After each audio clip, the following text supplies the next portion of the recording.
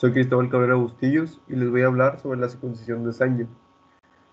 Esta técnica hasta la actualidad ha sido la prueba estándar para la detección de variantes en el ADN.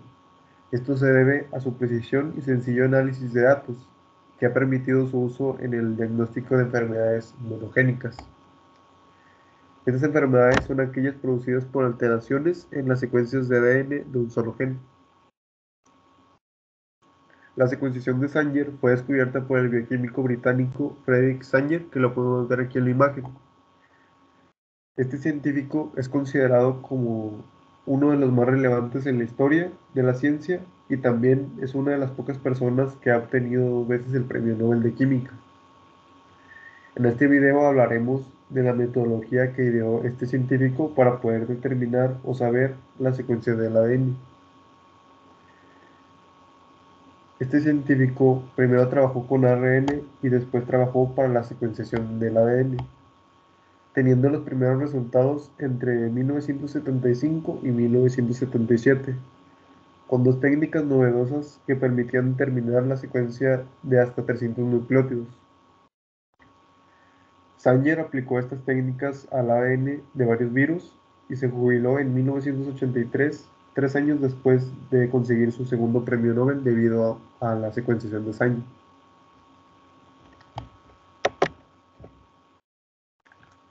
Pero, ¿qué es la secuenciación del ADN? Bueno, la secuenciación de ADN es un proceso que determina la secuencia de bases de los nucleótidos, es decir, adeninas, timinas, citosinas y guaninas de un fragmento de ADN.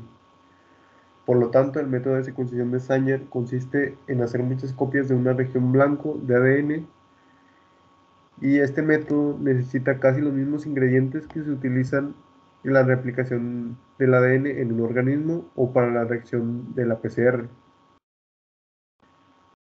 Como ingredientes tenemos la ADN polimerasa, un cebador o oligonucleótido, los cuatro nucleótidos del ADN, es decir, adenina, timina, citosina y guanina, y el molde que, se, que, se, que será secuenciado.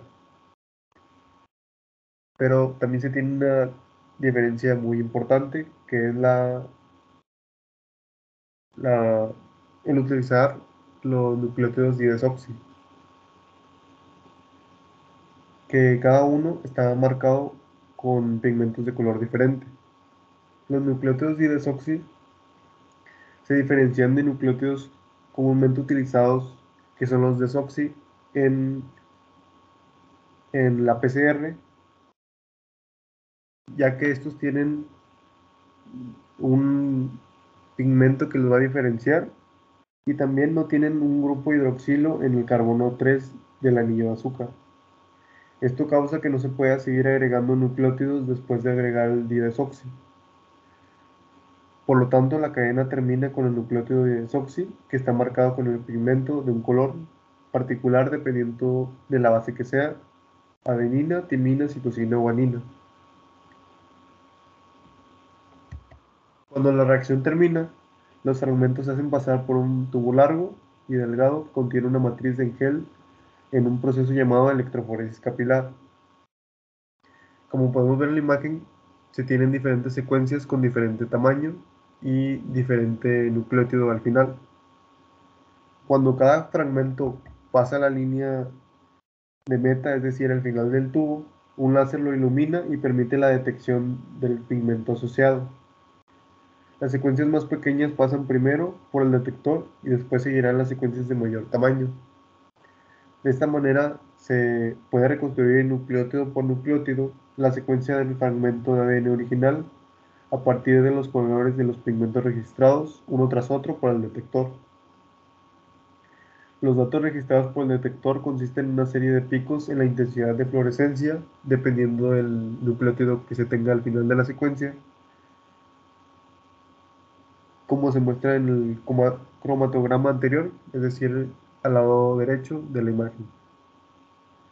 La secuencia de ADN se lee a partir de los picos en el cromatograma y se puede ir formando la secuencia final del ADN de interés.